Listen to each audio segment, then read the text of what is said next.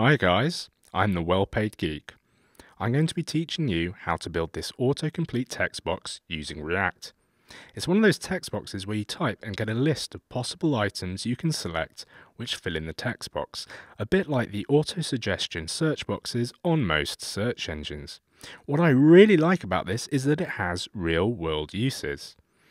It's a very simple component, but by creating it you'll learn about reusable React components, props, component state, and using CSS with React. I've broken it down into four videos so you get it all in nice bite-sized chunks and we can go quite detailed in each. Let's begin. You'll first need to set up a new React app by installing Create React App, creating a new app with it, and then run it by going to the directory in the terminal and doing npm start. If you need more details on this, click on the notification now to watch my Getting Started with React in Under 10 Minutes video. Open the code in an editor. We're going to create a new component. First, create a new file for your component and call it autocompletetext.js and it should be in the src folder. Components are the building blocks of any React application. They can be configured using something called props, more on that later in the series, and they can hold their own mutable data called state. They can be used to represent anything in your UI, from small things like a standalone UI widget, such as this autocomplete text box we're going to create, right up into something large like an entire web page. Components are reusable, so you can use them many times on one page or even across different pages. They're also composable. You can think of them like Lego bricks. You can fit them together to build other larger components. First, we need to import the React module. You need to do this for every component you create. Then we create a class to represent our component, and we're going to call it autocomplete text. It needs to extend the react.component class in order to make it a component.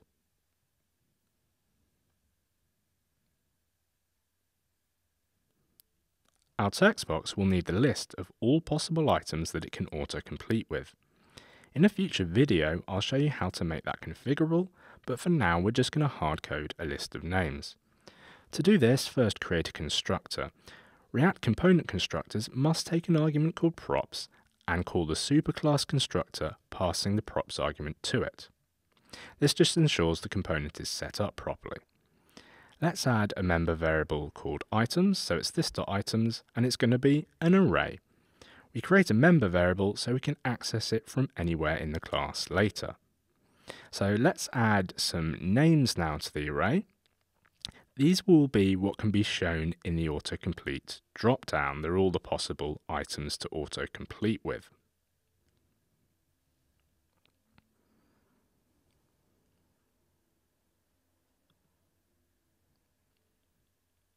Now, the markup for our component. At the heart of any React component is the render function.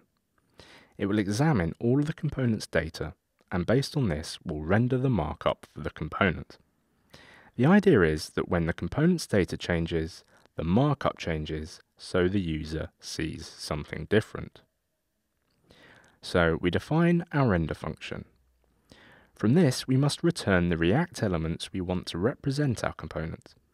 Some magic called JSX lets us write them directly within JavaScript as HTML tags.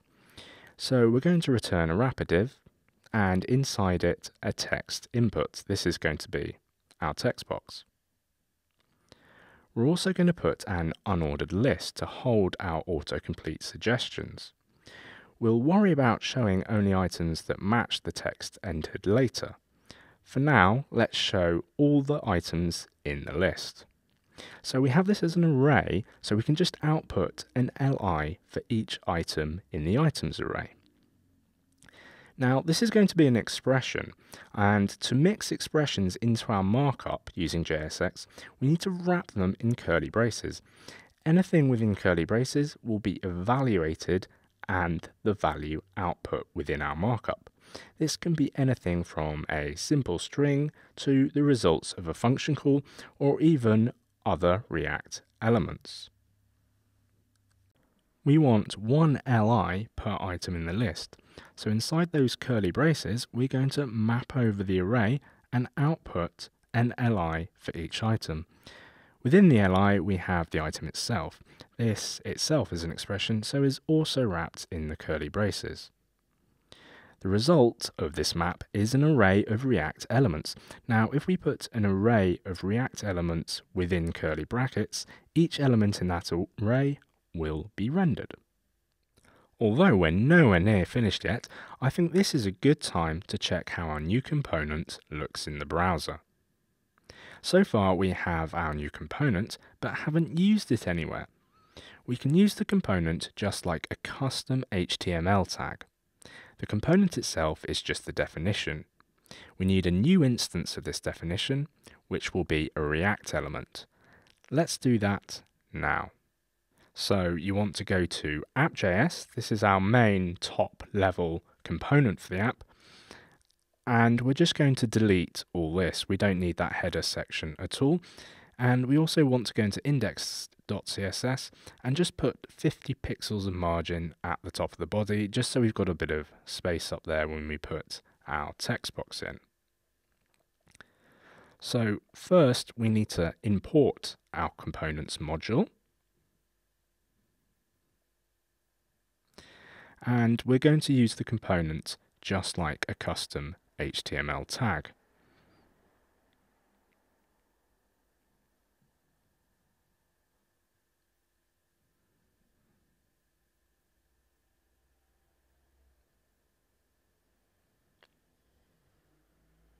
So it's just autocomplete text as an HTML tag. So you should be running the app using npm start in the folder in the terminal so that it will hot reload in the browser when you change the code. Let's take a look. As you can see, we have our text box and our list with all the names in it. When the user types in the text box, we're going to need to know about it so we can filter the list so that only items that match what the user types are displayed. We're also going to need the current text which has been entered for the same reason. So let's get that text now. You can add events to elements in React much the same way as you can in HTML.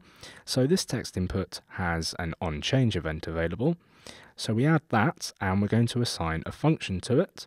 Since a function is an expression, we wrap it in curly brackets. And all the function is going to do is take the event that has been generated and console.log event.target.value or e.target.value because um, e is the event, target is the element which is the target of the event, and the value is the value of the HTML text input. Let's check that in the browser.